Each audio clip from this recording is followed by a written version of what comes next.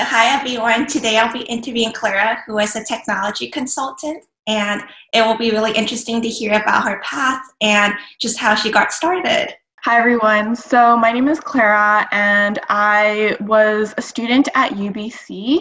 I studied business and computer science and graduated in 2019. Um, after that, I joined Accenture uh, June 2019 and started working there as a technology consulting analyst. Um, so I've been there for a year now and I've loved it ever since. Cool.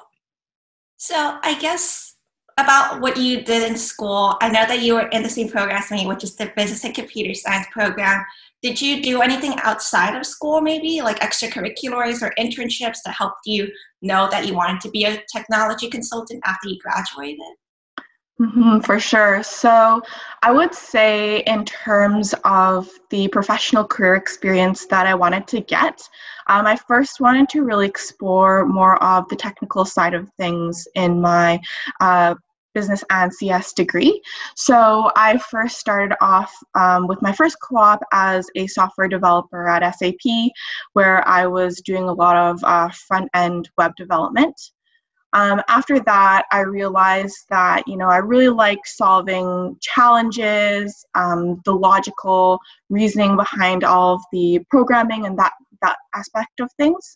Mm-hmm. Um, but I think one thing that was a little bit lacking for me was the communication aspect, and you know being able to have a lot of communication with your team and with your clients, and having that client-facing interaction.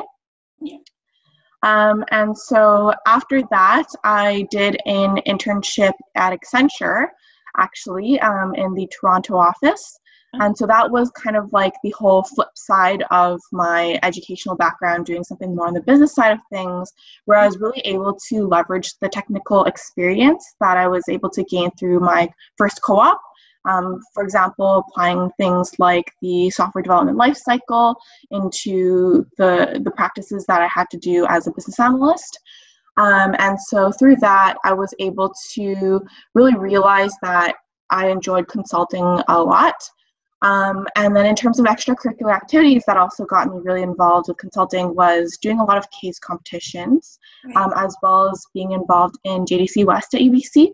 So um, I did a couple of uh, case competitions. I did an international case competition in Hong Kong, and I also was on the JDC West BTM team. So that was business technology management, um, and that was essentially an eight-month period where you would be doing um, and reviewing business technology cases on a weekly basis or sometimes twice a week. And so through that, what I realized was I really liked, you know, breaking down complex problems into, um, you know, different issues, how we bucket those, how we solve for them, and basically structuring how we would uh, solve different business cases. Um, and I really liked, you know, the organization, the logical reasoning that was applied in those cases. And so um, that's kind of what led me into the path of consulting. Oh, that's so cool. yeah, I think it's really nice how like you did an internship in software engineering first and then you also did another one in technology consulting and then you were able to find out what you kind of liked better, which is super cool. yeah and i think like it's it's the diversity that really also kind of gives you an extra edge too because yeah. now as a technology consultant i can say i've done more of the technical aspects and yeah. now on the flip side now i know how to communicate right. with people like developers and things like that yeah, because you understand their side exactly cool so, what would a typical day look like as a consultant? Or is it more like a weekly basis? Do you have to travel, or what does it kind of look like?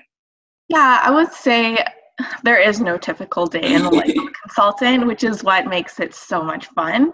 Um, it, it's really dynamic, and I think what drives kind of the work that you need to do is based on uh, the project that you're working on, the industry that you're in, as well as uh, kind of the role that you're playing on your team. So, typically, as a consultant, there's a couple different roles that you can play. For instance, a business analyst, where you're gathering requirements from your clients. and then communicating that with the developers. Um, you could be someone involved with functional design, so someone who really understands uh, the software system that you're implementing really well and figuring out now how can we transform those requirements into um, actual design specifications. Yeah. Um, another aspect of it is project management. So sometimes you can be playing the role of project manager where you're creating roadmaps, allocating resources, figuring out what's required to ensure that the project uh, stays on time. Um, so those are a couple of different roles that you would play. Um, and then in terms of travel, I think that really again depends on the project that you're on. Um, personally, for me, I haven't traveled um, and I've been doing mostly local projects. Okay. But um, there are opportunities where sometimes you're staffed on a project that is out of town and you'd be traveling Monday to Thursday and coming back on the weekends.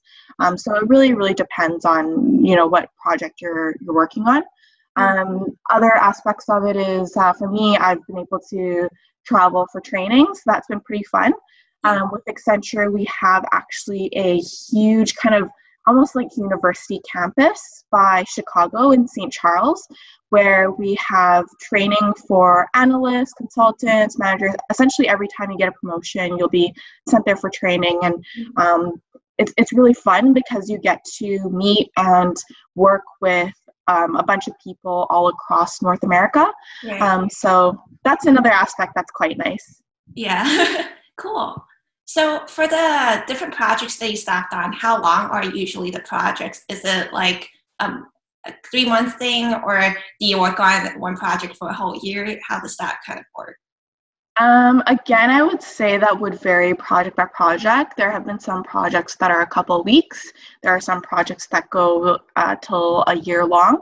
So it, it, really depends. I think typically, if it's uh, more implementation focused in terms of like implementing a software, that will be a little bit longer, a couple months to a year or two. Um, if it's something more in the kind of the discovery phase, um, so where you're gathering requirements or understanding the scope of the project of the actual implementation that you're trying to sell, then that might be a shorter amount of uh, time period. Cool. So the next question I want to ask is, do you think there's any important skills that people should know that want to be a technology consultant? Any uh, technical skills or soft skills that would be important? Mm-hmm, yeah, for sure. I would say, in terms of soft skills, um, as someone who has just graduated um, and looking at a career in consulting, that's probably the thing that um, they're looking at the most. Um, just because, in terms of uh, like technical skills or any additional kind of more granular skills that you would need to know, that can be trained on the job. Um, so, in terms of the soft skills that I would say that um, are typically in a consultant is the ability to solve problems. So, having really strong problem solving skills, being able to break down those complex problems, structuring your thoughts, and being able to then communicate um, what the issue is and how to solve it. So, the second part of that would be communication. Um, you're typically on a job very much client facing, talking to clients, talking to your team, talking to developers. Mm-hmm. Um, and so communication skills are very, very essential here. Um, and then I'd say the last one would be um, adaptability and being able to really be okay and comfortable with working under ambiguous situations. Um, I think a lot of times, because in consulting, you're working at such a fast pace and you're constantly learning different topics, mm. um, that being comfortable with not knowing everything um, and being able to be resourceful and going to the people that do know um, those topic areas and then being able to ramp up really quickly uh, is something really important in consulting. Cool. Are there any technical certifications or programming languages that technology consultants need to know? Or is it more just based on uh, maybe your education and then they'll train you on the job sort of thing? Yeah, I would say that in terms of technical skills, those are something that is typically trained on the job just because the variety of projects you could be working on are so vast that mm-hmm. a lot of the times you don't even know what project you would get thrown into.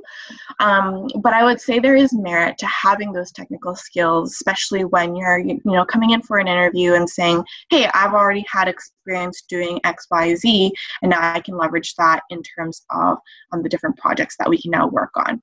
Right. So I think that is helpful. Um, I think one thing in terms of technology that would be uh, good for someone to know is um, being able to talk about the current events and the recent news on different technology trends. So one thing Accenture has every year is um, they post Accenture's top tech visions. And it really talks about, you know, what are the latest trends around technology, what's important, um, and what's kind of up and coming this year. So that's something that personally when i was interviewing for accenture i read up on just to get the mm-hmm. latest scoop and see what are the kind of main projects and the focus that accenture is heading into. Cool. What are some of the challenges that you face as a technology consultant? Are there something some tasks in particular that you find are really hard or take a long time to do? This is a good one I would say um, the biggest challenge of consulting is um, the really the dynamic work that you are involved with. And quite honestly i think it's it's not for everyone. Um, just because you are oftentimes kind of thrown into the deep end in a lot of in a lot of things that you aren't familiar with um, and you're going to be switching from one project to another. And especially, I think, more at the entry level where you aren't yet specialized in a particular topic area, um, you really need to be comfortable with just going like boom, boom, boom, and picking things up really quickly um, and just learning really, really quickly at, at like kind of like a really fast pace. Right. And so I would say that's the biggest challenge. But on the other side, that's also what keeps things really interesting. And uh, the fact that you're always learning new things is something that um, I really enjoy. Yeah, for sure. So, do you have a mentor or other people who have more experience helping you out at the beginning? Or is it, like you said, you just throw into the deep end and you're learning everything yourself and picking up new skills? No, so do you definitely have a lot of resources that you can reach out to. So um, obviously, with every project that you're on, you typically have a team that you can um, ask for advice from. Um, and the nice thing about Accenture is that we're a global company, so we have a lot of resources. We have something called the KX, which is something that you can um, access online. It's kind of like an online database of all the resources and past projects that we've done in the related area. That's we also have different uh, groups that we can reach out to, kind of like communities, um, where you can talk to different subject matter experts um, for specific projects. Um, and then also, I think for me at least, I've had a lot of support from my um, project leads and my career counselors um, who have been able to provide me with support whenever I needed it. Cool. Are there any opportunities that you see in this field? Is are technology consultants just grouped into one group usually, or are there subdivisions in technology consulting and they work on different types of technologies? Hmm, yeah, for sure. So um, I would say that there are definitely a lot of opportunities in this field just because technology in today's age really impacts all industries and all lines of business essentially. Mm-hmm. Um, and in terms of how uh, Accenture works. So, for someone who is a new grad um, applying as a consulting analyst to Accenture, you get hired into something called the Consulting Development Program, CDP. Um, and so, what happens is you are starting off more as kind of a general consultant at first. So, you're not aligned to a particular industry, you're not aligned to the type of consulting that you're doing or technology. Um, so you can that that's the nice thing is you can try out different things. You can do something more on the management consulting side. You can do something more on the technology consulting side. And you can work in different industries. Um, and then in addition to that, once you get promoted into consultant, that's when you start to build a more more niche area of expertise. So that's where you kind of start to decide, okay, this is the industry that I want to be aligned to, or this is the functional area that I want to be an expert in, um, or this is the technology that I want to have uh, more deeper expertise in. So basically, once you've gotten promoted to consultant, that's kind of where you choose your specialization. Cool. And I guess one last question for you is Are there any advice for students who might be interested in getting into technology consulting, uh, maybe like an internship or even their first job out of college? Are there specific resources or classes that would really help them out? Yeah, for sure. So I would say the first piece of advice is don't be afraid to network and to reach out to people who currently work in consulting or at the consulting firms that you might want to apply for. Mm-hmm. Um, and the reason for this is because um, I think a lot of times communication, as I mentioned, is a really important aspect. And so people who are recruiting will really be able to see that. Um, I would say in the Vancouver office, networking is a really, really important thing just because we have such a small community. Um, so everyone kind of knows each other already. Um, and so I would highly recommend just reaching out to different people for coffee chats. And one thing that I've seen across the board is everyone at Accenture is always really willing to help and give you the time of day to kind of walk you through um, the kind of work that we do and provide any sort of tips and tricks. So definitely, I would say like network and reach out to people at the consulting firms that you want to apply for. Cool. Um, and then uh, in terms of resources, I would say um, definitely practice uh, your cases. Um, so Accenture has, I think, like a case book if you search it up online. Um, there's other case uh, study or sorry, uh, case interview prep books that you can look into. Um, the other thing is the Tech Visions, so that would be another great resource just to brush up on kind of current events on technology. Um, and then I would say just make sure you research the, the company that you're applying for, know why you want to apply for consulting, and why specifically that firm.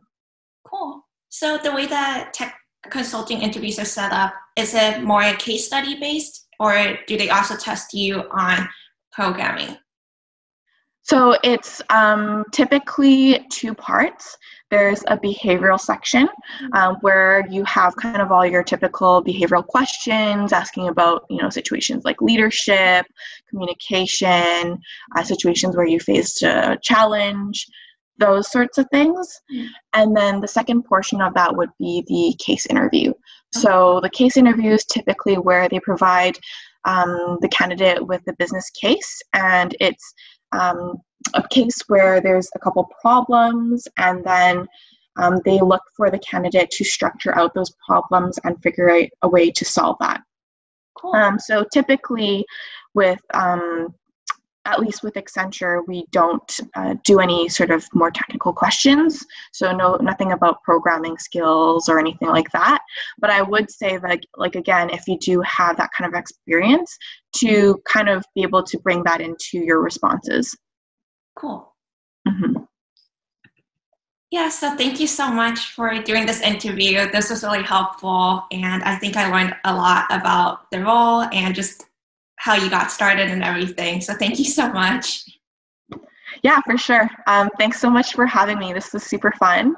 Um, and I guess for anyone who's interested in learning more about a career in consulting, they can definitely uh, reach out to me. So I can definitely provide my like LinkedIn details if that's something that, uh, yeah. Thank you. All right. Thank you.